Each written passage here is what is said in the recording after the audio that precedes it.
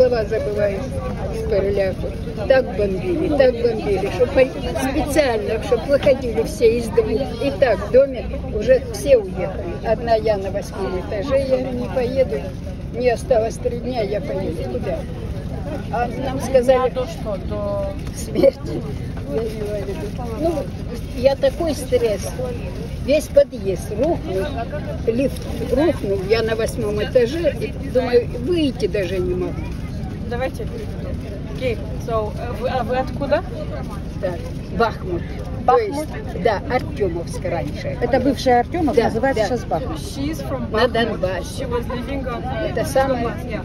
Uh, she was living uh, at the eighth floor, and all the house ruined, like because of the bombs. And they started bombing, and she was very stressed, and she thought that she will die there.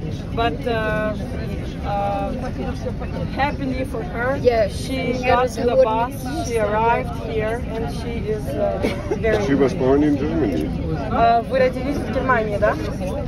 Да. Я вам, вам показывала. Да. 9 травня 44 Саксонская область, Цвинкау город, Немеччина. Цвинкау? Да, в 44-м мама была в концлагере там, и я там родилась. Because of her mom, yeah. Her, her mom gave birth to her there. Мама уже Okay, and she was married to an Ukrainian. А вы, Хорошо, э, вам, дорогие. вы А, поженились на украинце, да? Я представляю евангельское христианство Молдовы, пастор церкви. я хочу благословить вас. нет,